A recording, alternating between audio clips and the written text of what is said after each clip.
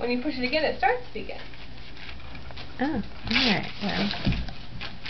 It's been on and off and on and off, so. Go. Oh, neat.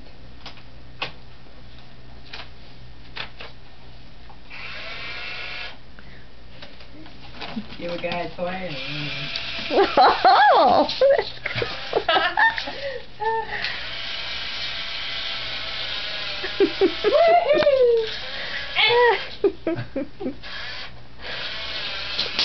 Oh, don't break it, kid. I've got one of those that's just plain round and that's all there is to it, but it doesn't stay out straight like that.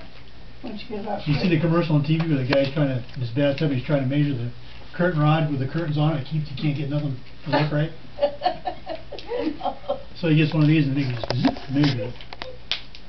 You know what he bought himself? That's the teller. tell A Kevin. forklift? Yeah. I bought a one te- one fourteen scale model Yale forklift. And it operates, the forks go up and down, you steer It's it. a it goes remote back and control. Holy cow. forth. It's about like that and the fork's about that long. I got one too. This one. Yay, it says you. Mr. Black. That's Jen with her name on it.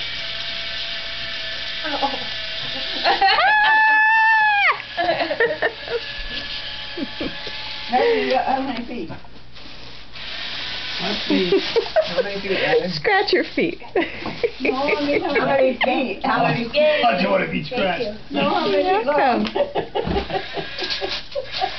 welcome.